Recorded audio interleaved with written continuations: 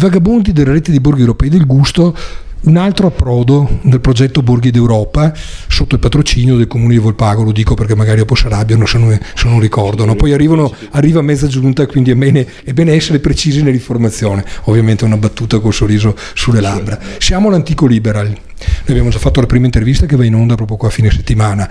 E oggi però abbiamo lo stage vero e proprio, questi convivi, stage convivi, sono dei filò Va bene, invitiamo delle persone che raccontano la storia, la cultura, l'ambiente del territorio, quindi del Montello in questo caso, e poi ci affidiamo alle nobili mani di ristoratori giovani, sottolineo giovani, va bene, per assaggiare piatti che sappiano mettere insieme il talento, la sapienza, la creatività e la tradizione.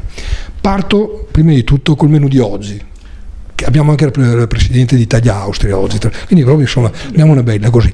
Cosa proponi oggi in questo fantastico filò? Allora, come antipasti questa giornata proponiamo una composizione di formaggi affettati con marmellate fatte in casa, un radicchio di Treviso, visto che è di, è di, stagione, avvolto nello speck, passato prima in piastra, sfumato con l'aceto bianco, così dà anche aceto bianco, bello, bello. bianco, e dà anche una nota più sì. acidula e eh, un'insalatina di carciofi freschi fatta al momento con eh, scaglie di grana e aceto balsamico mi pare, avevo detto l'antipasto, mi, mi raccomando, vabbè, insomma, sì, lussureggiante, lussureggiante. Vabbè, mi vai. piace rendere, eh, vabbè, devo diventare non, come me. Non ho detto niente, ah sì, buon buon. Allora dopo non mangerò per tre giorni, allora dai via, vai. come primo piatto un uh, bigolo in salsa. Eh, quello l'ho chiesto io, sono, ammetto le mie colpe. Ammetto. Eh. Ebbene sì. E il secondo con i centeccia, con uh, patate schiacciate e eh, sempre radicchio Treviso e Ferri. Ti faccio una domanda, noi l'altro giorno a Padova, in uno dei locali storici di Pava, dove abbiamo mangiato sovranamente male, no, lo dico, abbiamo mangiato un coniglio che aveva proprio la, la bruciatura, aveva avuto no. due o tre riscaldate, insomma, diciamo no, così.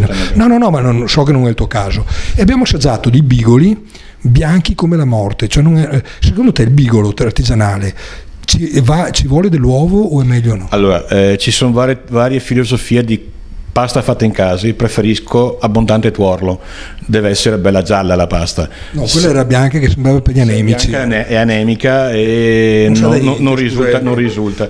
E, e, quella che facciamo noi, io eh, C'erano più broccoli, lui questo lo faceva con i broccoli, mm? e le acciughe bisognava prendere nel microscopio per, per trovarle, no? Scusa. Ognuno ha il suo metodo poi, di cottura. Poi non parliamo di quelli che ti portano gli spaghetti con la pasta di acciughe, quella col tubetto, no? Lasciamo stare. Uh, non, è, non è una goduria, ma lo so infatti, ma lo dico per differenza. No, ma infatti la salsa non la facciamo in casa, sicuramente è fatta con cipolla, abbondante olio, abbondante acciughe, due caperetti, messo sul fuoco a, basso, a, fuoco basso per fare sciogliere bene l'acciuga, sempre mescolando, il tutto viene frullato, la salsa è fatta. Poi ghiotto coniglio, le ricette di Veronelli e la ricetta dell'antico liberal. La mia ricetta è semplicissima, eh, innanzitutto del coniglio di, di, niente si butta via niente, io cerco di recuperare tutto. È come il maiale insomma. Come il maiale perché anche le ossa servono per fare il fondo bruno, la salsa madre Ehm, questa ricetta viene fatta Ragazzi, con. Non sembra però, eh? in gamba. Non sembra. Non sembra. no, tipo esempio, questa ricetta è semplicissima: carote, sedano, cipolla. Tu ci permetti di scherzare qualche volta? Assolutamente sì, io sono il primo autocritico di me stesso e mi piace scherzare, soprattutto certo. sulla mia piazza. E si chiama in dialetto testa descalza. Testa descalza, ben perfetto.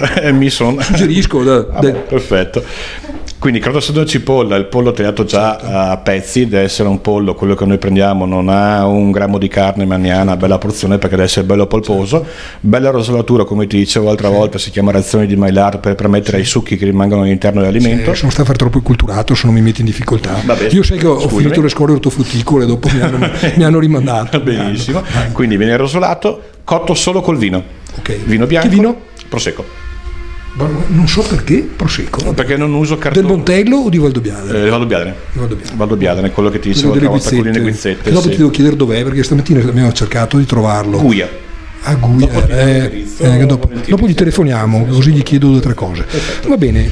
E sì, beh, dopo avrai i contorni di stagione, sì. ovviamente. No? Comunque, si dice così. quei fegatini, sì. le frattaglie, viene fatta tipo una peara, però senza soppressa, sempre con cipolla, abbondante vino frullato e messo nel, nel, coniglio a cucinare così prende ancora più gusto. Adesso tocca a lei, povera, se no la teniamo qua a fare...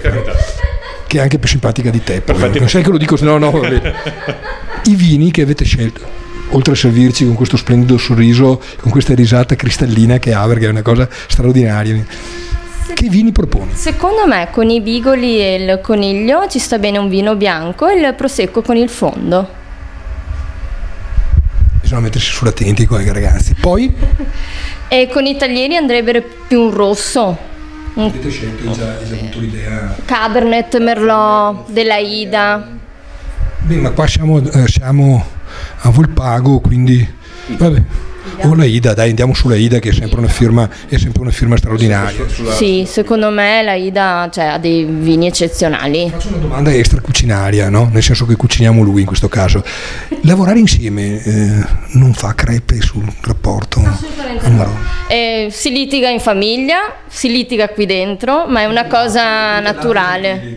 Sì, ma è, cresce ancora di più il rapporto perché nelle difficoltà o nei, nei non ci riesco mai a mettere in difficoltà porca miseria. Io ci provo. intanto ci andrebbe di lanciarmi il coltello ma eh, non...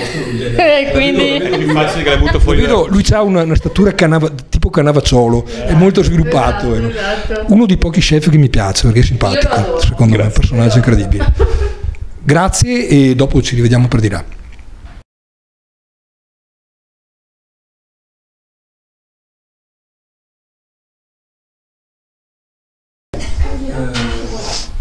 radicchio di Treviso avvolto nello speck leggermente sfumato con dell'aceto bianco e un'insalatine di carciofini, carciofi scusatemi, con grana e glassa aceto balsamico. L'Italia del gusto è la voce che merita il tuo ascolto.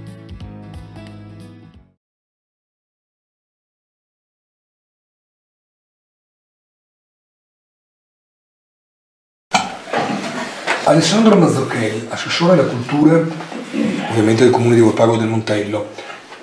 Eh, abbiamo attraversato un po' queste prime esperienze, di queste prime interviste che converrete con me abbiamo cercato di non fare sempre i soliti bla bla bla che non servono niente a certo. nessuno. Io sono così, facciamo così.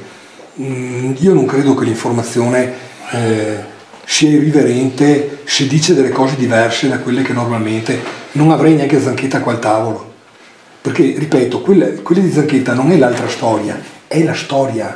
Perché sembra che quando troviamo una versione diversa dei fatti storici sia l'altra storia, l'alternativa. Ma chi ha detto? È la storia scientificamente fondata. Purtroppo da noi tutte le posizioni che non sono quelle ufficiali, di qualche professore universitario, di qualche trombone, così, diventano le alternative, no? Come se fosse un'alternativa minoritaria, no? quasi una sorta di minoritarismo culturale.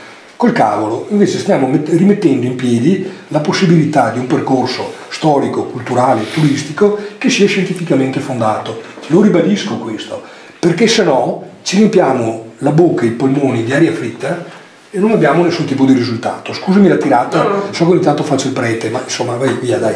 Eh, no, no, un'ottima predica, ma insomma. Va bene, ecco appunto. La verità rivoluzionaria, no? Che sì, lo dico, è vero, è vero, è vero, raramente poi la seguono, ma questo è un altro ah, discorso, esatto. politici, ma questo è un altro discorso. Esatto.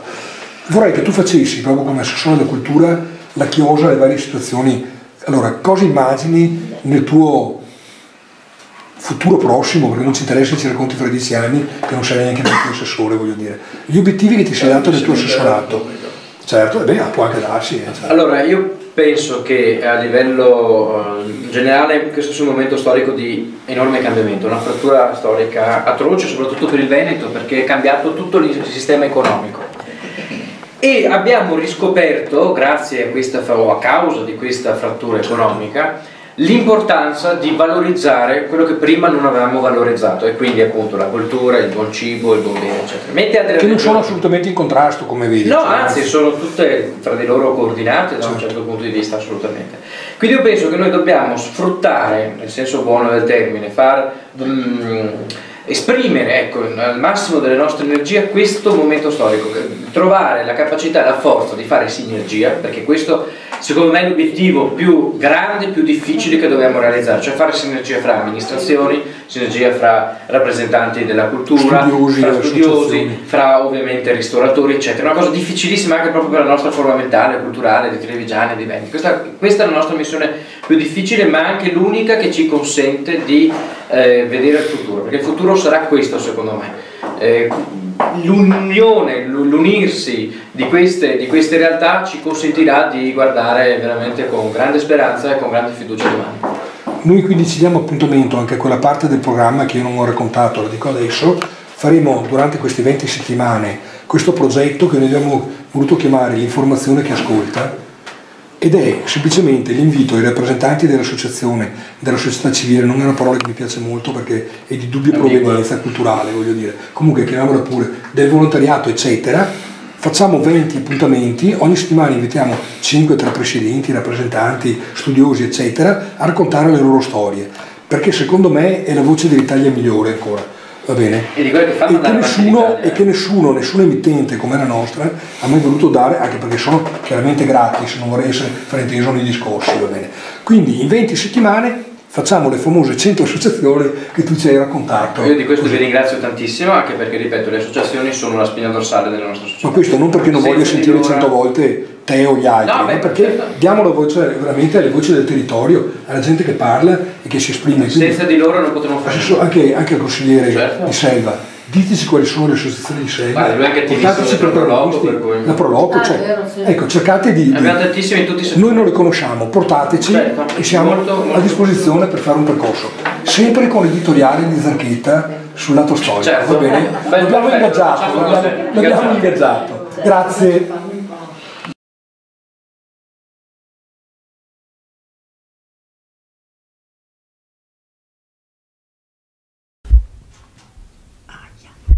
Enrico Zanatta, il nome Zanatta nessuno qua, eh, parlo del Montello con i rossi, diciamo, l'avevamo detto, cioè nel senso che è un nome abbastanza sviluppato. Mi ricordo Piero Zanatta, era sindaco forse di Zavera. Sì, Zavera. Sì, era bravo. Lo, so, lo dico perché insomma, è anche giusto ricordare, insomma, no? Mica tutto il passato bisogna buttarlo nel piave, voglio dire, no?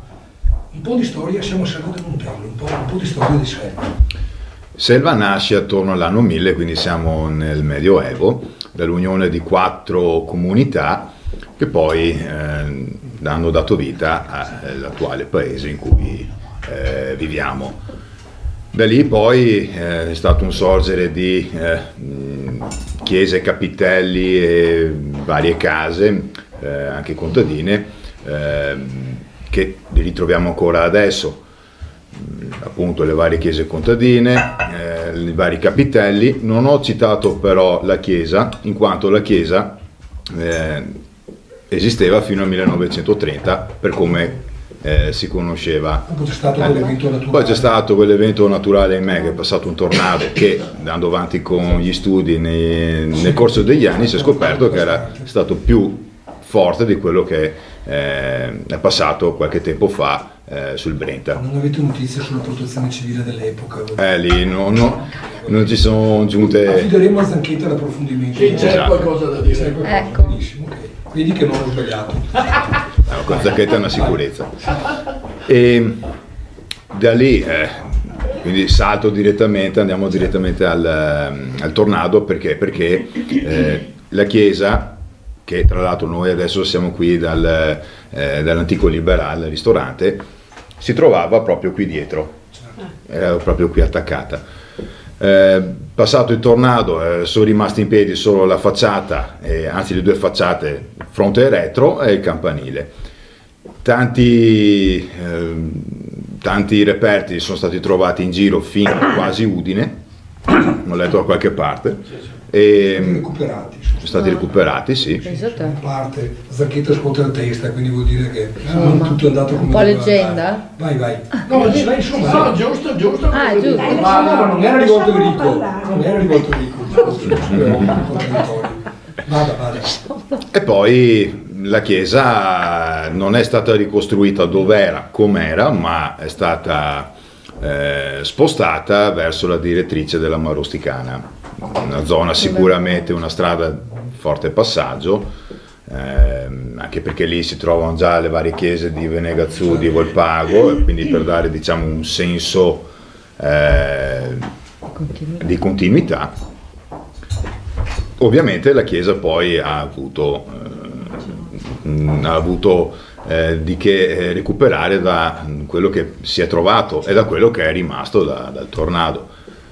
Poi eh, passando, passando, oltre, mh, mm, qui Zacchetta mi saprà dire anche l'assessore Mazzocchelli, saprà spiegare meglio, che eh, ci sono dei resti, correggetemi se sbaglio, Importanti. importanti di una villa dell'epoca romana. Ma dopo sentiamo un altro Eh, su questo. sì. Mm, Volevo chiedere un'altra cosa. Siccome eh, prima eh, appunto, Zanchetta ha ha ricordato eh, l'inesistenza del- eh, delle fondatezze storiche del Palio di Bisanenti e Zavera, no? Ma io non voglio entrare perché non c'è nessun di Zavera, quindi non voglio creare polemiche. Invece voi avete un palio importante, lo ricordavo prima. Un po' di vecchio anche? Un po' di vecchio. Che, palio avete?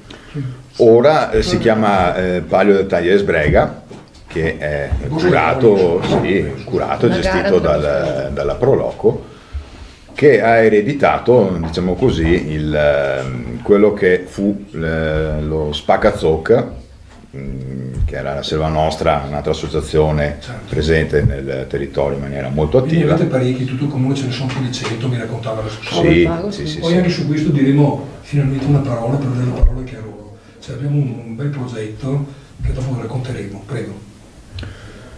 Allora, eh, lo Spaccazocca, che poi si è trasformato in taglia, Palio Taglia e Sbrega, ha- sicuramente un richiamo. Era vero Sì, che era sì, più evocativo? Sì. Vabbè, oh. Diciamo che per diritti, eh, in termini commerciali, eh, non ha potuto utilizzare quel nome lì. Mm, diciamo così. L'assessore al turismo mi fa i segnali di non esagerare troppo. Quindi così, dai, ci modelliamo. Eh, scherzo. No, guarda, ci sta, ti dico grazie. Eh, io ho avuto di fare, perché avevo fatto delle osservazioni che forse non sono pertinenti rispetto a questa tavolata, però li riprenderemo di sicuro. Nel frattempo è arrivato il coniglio, dopo facciamo una parentesi sul coniglio, perché è importante. Nel frattempo lo mangiamo prima che diventi freddo. Io dico grazie, Grazie. vorrei essere un rossi di una un complimento. Grazie. Va bene così? L'Italia del gusto è la voce che merita il tuo ascolto.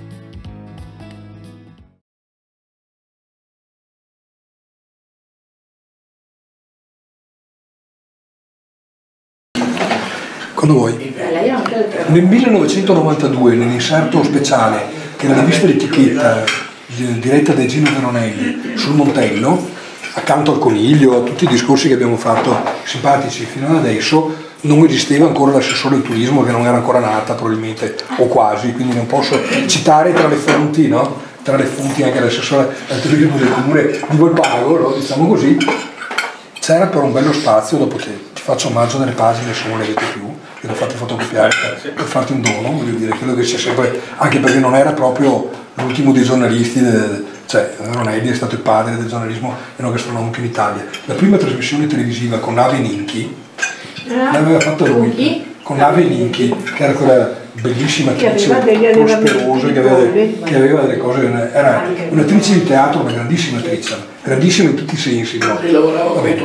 C'era un servizio sull'apicoltura Marconi. giovane. E quindi credo che questo la dica lunga sul Ci racconti un po', perché adesso non entriamo nel merito di tutti i mieli che fate, cioè voglio sapere un po' la storia della famiglia nell'arte e dopo andremo a fare le degustazioni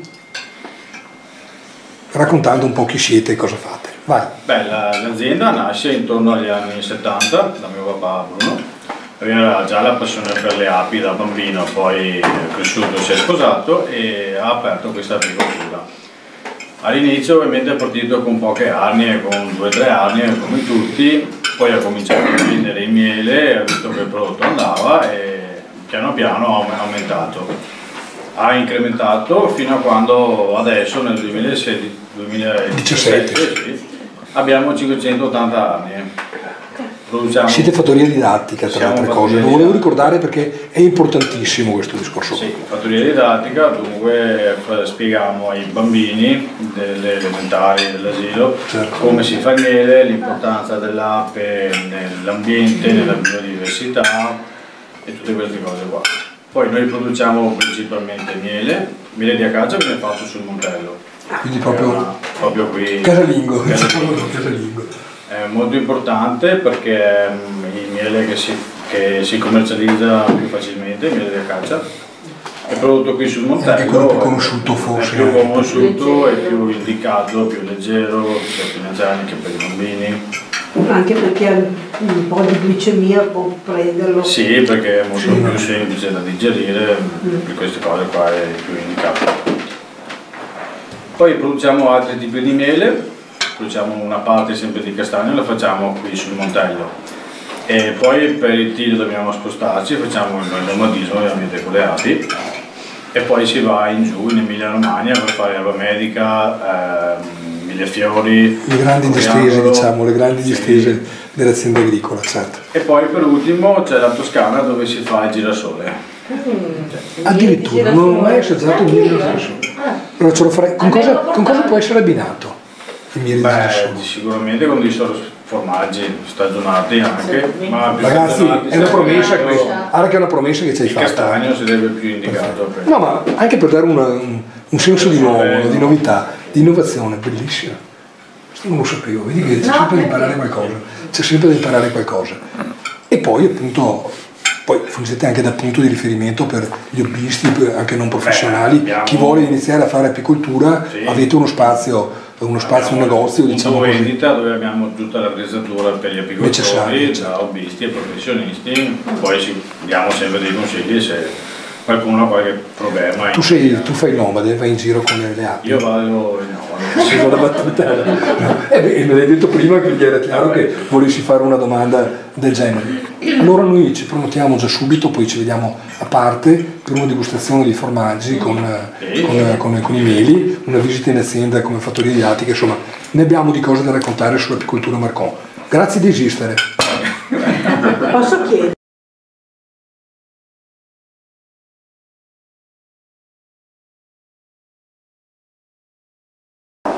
Aspetta la domanda. Assessore alle politiche sociali del Comune di Volpago. Nome e cognome, scusami perché io conosco però. Certo, sono Manuela Bertola e appunto mi occupo del sociale, dell'istruzione, delle politiche giovanili. Sì, noi naturalmente non ti abbiamo invitato qua solo per mangiare, ovviamente. No, certo. Se no pensano come al solito i politici, no? che pensano solo a mangiare. Non è vero, a parte che è una celebrazione del, del prodotto montegliano a tavola, e quindi è una giusta valorizzazione, voglio dire. Certo. Se ne fossero di più di giovani che interpretassero così, vabbè, comunque questo è un altro discorso. Mm, Le domande, sono tante le domande che potrei farti, però le politiche verso i giovani, qui ci teniamo in modo particolare. Allora, Volpago eh, ha diversi obiettivi per i giovani e è molto attento. Noi qui a Volpago non abbiamo una scuola superiore, abbiamo solo, eh, partiamo dall'asilo nido, abbiamo le scuole materne, le scuole elementari e le medie. Nonostante che gli abitanti siano parecchi, però. Sì, però le superiori non. Superiori, sono molto bellune. Sono a Montebelluna, ecco, chi va a Montebelluna, chi va a Televisione. Certo. Con le politiche giovanili a Montebelluna, che è capofila, noi siamo eh, collegati con vari comuni qui del Montello, siamo mi pare in nove se non erro, per cui c'è molta forza tra di noi e stiamo studiando un'alternanza scuola-lavoro che a me piace molto, perché si è, cioè adesso si capisce che i ragazzi quando arrivano ad avere quell'età di 15, 16, 17 anni, per cui parliamo di seconda, terza superiore, Certo. Hanno un periodo in cui non hanno voglia di andare a scuola, perdono, la- la- perdono l'entusiasmo, perdono, non lo so. È la hanno- crisi dell'adolescenza, È la diciamo, chiamiamola dell'adolescenza. così, chiamiamola. Ecco, e allora con l'aiuto del comune, delle aziende che abbiamo qui in zona, eccetera, si fa fare uno stage, cioè c'è la possibilità di far fare uno stage ai ragazzi, praticamente lavorando presso queste aziende. Allora abbiamo diverse aziende qui nel, nel comune, parliamo di Montebelluna, per cui parliamo di Trevignano, di Volpago, dei, dei- dei nostri comuni associati, che accolgono questi ragazzi per un periodo che poi andrà concordato con la scuola e così i ragazzi si rendono conto se è la scuola che hanno voglia di seguire o il lavoro che, che- che vorrebbero fare, perché Ti poi ogni... senti di più un'amministratrice o una politica? Rispondimi sinceramente. vorrei essere tutte e due. È una risposta intelligente. Se mi sento solo amministratrice non, No. non- non ti avrei creduto, sono sincero. No, no? Vorrei essere tutte e due perché sto comunque facendo una cosa che, Che politica che ho molto desiderato. Nel senso bello del termine, Sì, sì, sì, nel senso bello del termine, la politica nel senso nobile, non nel senso Certo. pericottaro di questi tempi, diciamo così. ecco. Certo, Grazie, si tratta di una, di una scientificità Grazie. però importante, grazie. grazie.